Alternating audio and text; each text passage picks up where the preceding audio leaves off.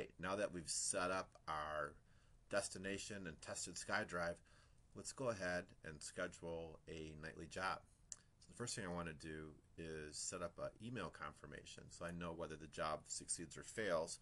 So I'm just going to type in my username or I guess my email address here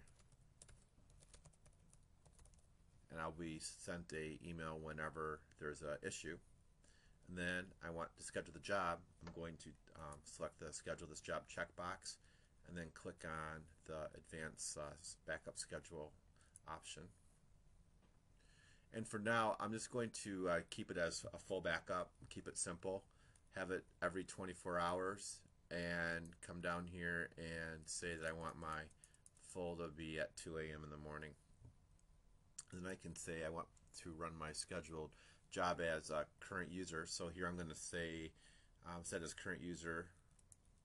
It'll put in my username and password. But if you'd like, you could use like a service account from a domain or um, any other account that uh, is appropriate. And then I'm going to save and close. So what this has done is effectively set up a job to run to do a full backup of the database at 2 a.m. every evening. I'm going to hit File Save to save the job. It lets me save it out to the, the computer. And uh, now it's ready to go.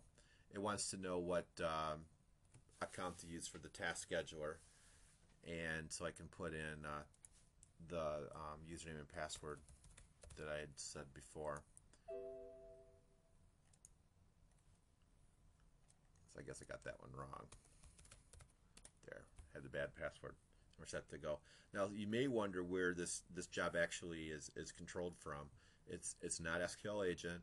It's actually being done through uh, Windows services. So let me show you real quick here. I'm gonna go out to Windows here and type in um, services.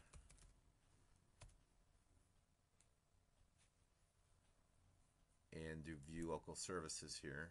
And if I come down to SQL, what you're going to see here is a SQL backup and FTP service and that is what is controlling those nightly jobs.